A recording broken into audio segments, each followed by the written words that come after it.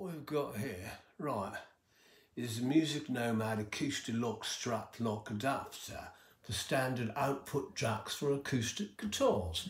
And you can see it right there. It's on my guitar.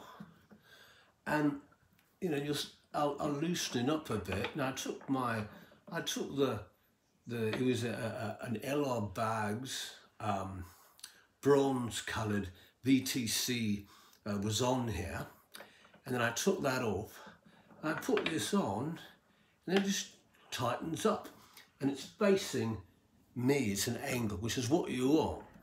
And it doesn't even touch the guitar. You can see that I can place I can place this little fortune right between it.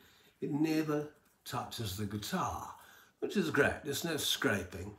And then I'll use um, this strap lock which I bought, put on my Ernie Ball guitar strap, and I just clicks right on there. That bug ain't coming off, you know, unless I do that. Now you could also just put a strap on there if you don't want to use a lock, but I highly suggest a lock. So basically that's what you're getting. It works great. I had this on a Gibson Southern Jumbo.